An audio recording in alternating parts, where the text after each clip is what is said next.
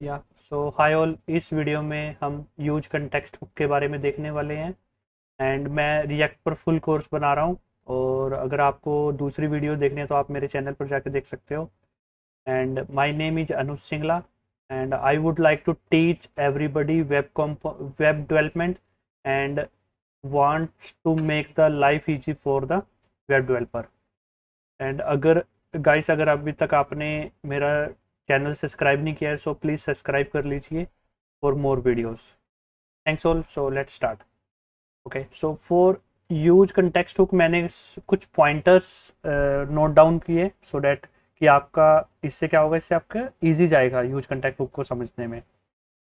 तो पहले हमको यूज़ कंटेक्स्ट हुक से पहले ये समझना है कि रिएक्ट कंटेक्स्ट हुक क्या होता है.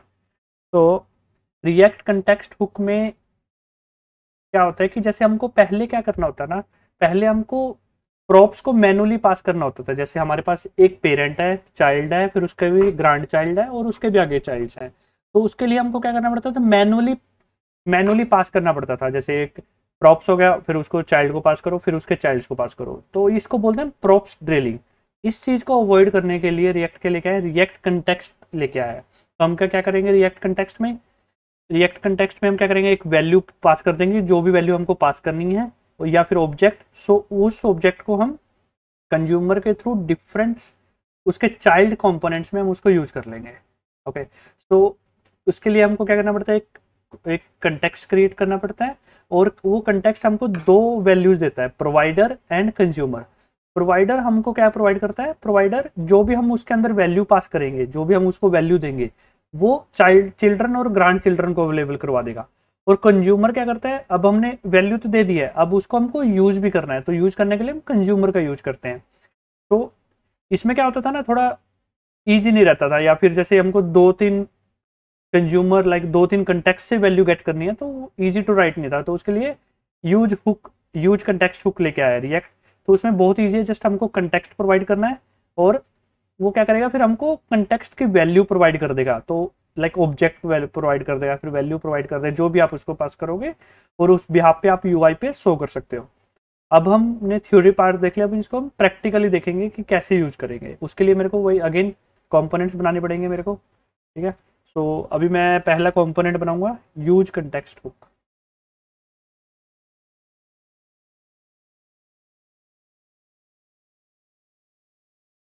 ये जस्ट कंपोनेंट नेम है, आप यहाँ पर कुछ भी दे सकते हो। तो मैं क्या कर रहा हूँ ना, मैं मोस्टली ट्राई कर रहा हूँ कंपोनेंट का नेम वैसा दूँ, ताकि जब आप मेरा कोड देखो तो आपको इजी जाए समझने में।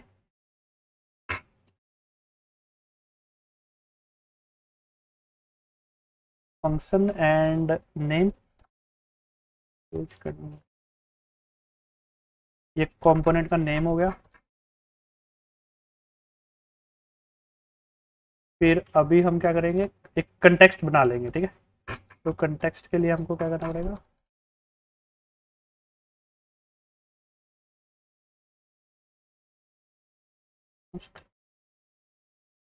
यूज़र कंटेक्स्ट और उसको कैसे करेंगे क्रिएट कंटेक्स्ट एक रिएक्ट ने प्रोवाइड कर रखा है ठीक है? ये क्या करता है इसमें? इनिशियल वैल्यू दो अब हमको सबसे पहले हम आ, सबसे पहले हमको क्या करना पड़ेगा? एक इंटरफेस बनाना पड़ेगा कि हमारा किस टाइप का, किस टाइप का है हमारा, जो भी हमारा कंटेक्स रहेगा, किस टाइप का रहेगा? जैसे हमारा, हम यूज़र यूज़र डिटेल डलवाएँगे, ठीक है? कंटेक्स तो इसमें नेम रहेगा स्ट्रिंग टाइप का, और रोल नंबर रहेगा। वो रहेगा नंबर टाइप का, और और नल कुछ भी कुछ भी ना हो। और फिर अब हम करेंगे डिफ़ॉल्ट वैल्यू डलवा लेंगे, ठीक है? इसको बोल देते हैं इनिशियल वैल्यू नेम आ जाएगा M T and roll number आ जाएगा। नल। एंड अब ये हमारा कंटेक्स किस टाइप का, हमको ये बताना पड़ेगा इसको। और इसमें हम इनिशियल वैल्यू डाल देंगे। अब हम एक ऑब्जेक्ट भी बना लेते हैं। यूज़र रहेगा name Anuj number is seven अब हम क्या करेंगे? इसको यूज़ करेंगे। यूज़र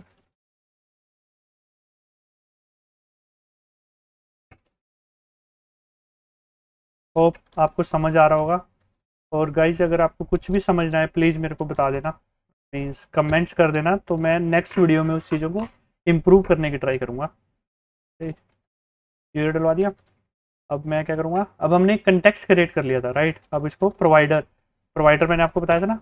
प्रोवाइडर से हम उसको वैल्यू को प्रोवाइड करते हैं, ताकि वो चाइल्ड कंपोनेंट उसको यूज़ कर सकें। तो फिर हमारा क्या है? यूज़र कंटेक्स्ट है हमारा प्रोवाइडर और प्रोवाइडर क्या एक्सेप्ट करता है? वैल्यू वैल्यू क्या है हमारी? यूज़र डिटेल्स ठीक है? यूज़र डिटेल में अब जो भी हो जाएगा, वो उसके चाइल्ड्स को मिल जाएगा। और इसके लिए अब इसके अंदर जो भी कंपोनेंट्स हम ऐड करेंगे तो वो उसको एक्सेप्ट हो जाएँगे। अब जैसे मैं एक एक बटन भी बना लेता हूँ। ताकि वैल्यू को अपडेट करने के लिए मीन्स वो भी अपडेट हो जाएगी। तो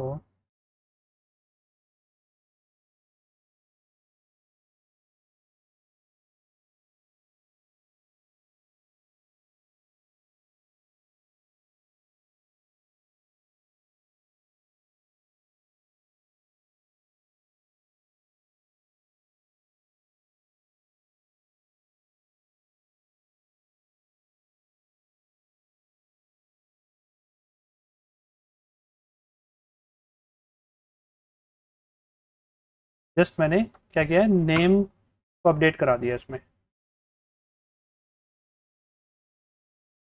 अब मैं क्या करूँगा ऑन क्लिक पे ऑन क्लिक पे जस्ट इसको अपडेट कर दूँगा। इसमें वैल्यू प्रोवाइड करेंगे हम। अपडेट नेम में जैसे मैं प्रोवाइड कर देता हूँ, अनुज वन। तो जैसे ही मैं अपडेट वन पे क्लिक करूँगा तो ये वैल्यू चेंज हो जाएगी। यूज़र डिटेल के और उसके चाइल्ड कंपोनेंट में जो भी अपडेटेड वैल्यू होगी, वो पास हो जाएगी। अब मैं एक चाइल्ड कंपोनेंट बनाता हूँ। तो उसका नाम रखते हैं हम डिस्प्ले नेम एंड उसका नाम रहेगा मेरा export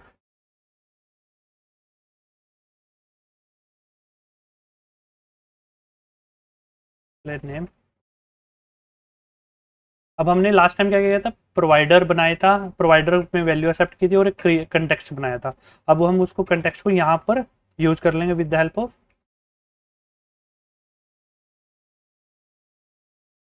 with the help of use context hook तो हमारा यूज़र कंटेक्स्ट हुक है। अब हमारे क्या कंटेक्स्ट था? User context hook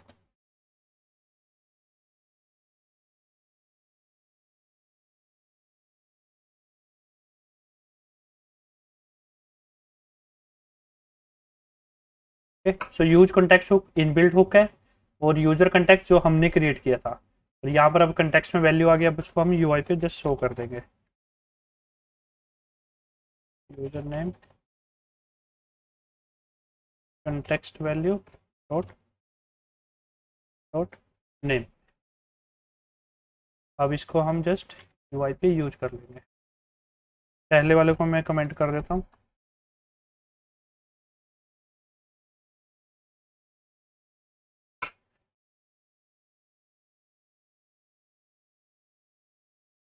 यू पे देखते हैं, कैसे दिखेगा, ठीक है? अपडेट नेम हो रहा है ओह सॉरी मैंने ये फ़ंक्शन ये कंपोनेंट इसके चाइल्ड में यूज़ तो किया भी नहीं ना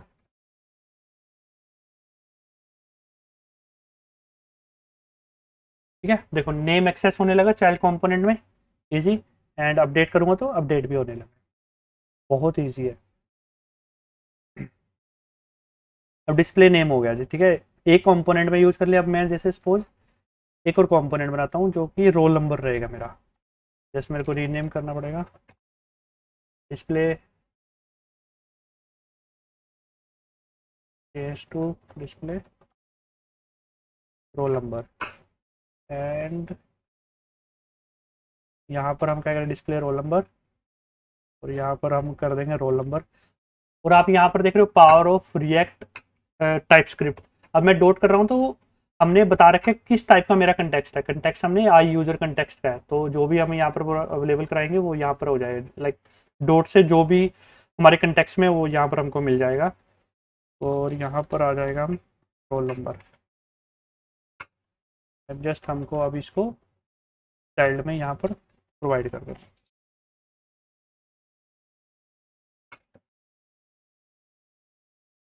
सेवन आ गया। फिर से एक बार रिफ्रेश कर लेते हैं पेज को। पहले में डिफ़ॉल्ट वैल्यू अनुज है और सेवन अगर मैं अपडेट करूँगा तो अनुज वन हो जाएगा, क्योंकि मैंने अनुज वन दे रखा है।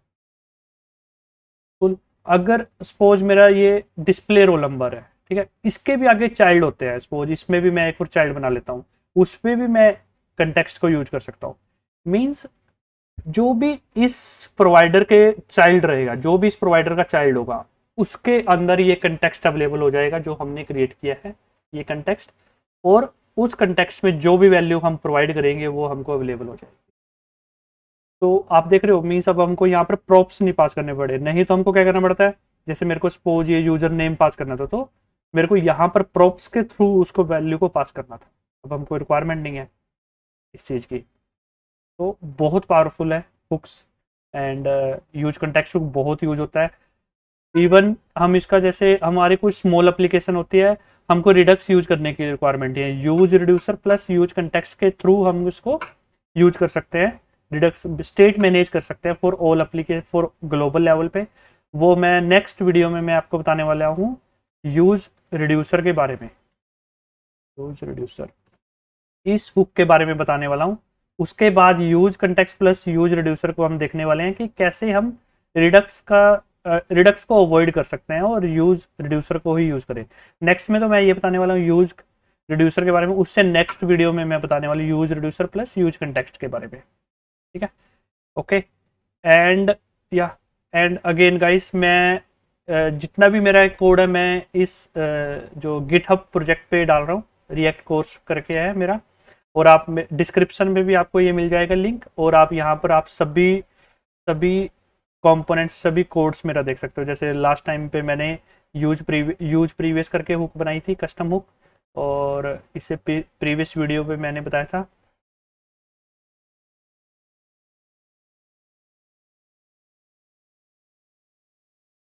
ओके तो आपको कोई भी डाउट हो या फिर आपको कुछ पूछना हो तो मेरे को प्लीज़ कमेंट कर लेना। Thanks all thanks all for watching bye bye